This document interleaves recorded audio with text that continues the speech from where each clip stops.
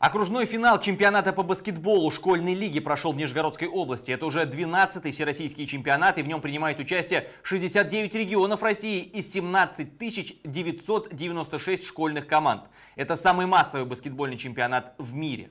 В Нижегородской области выступили более 400 команд. Главное, мы победили.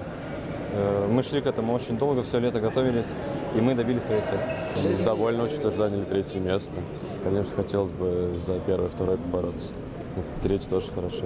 Есть над чем работать.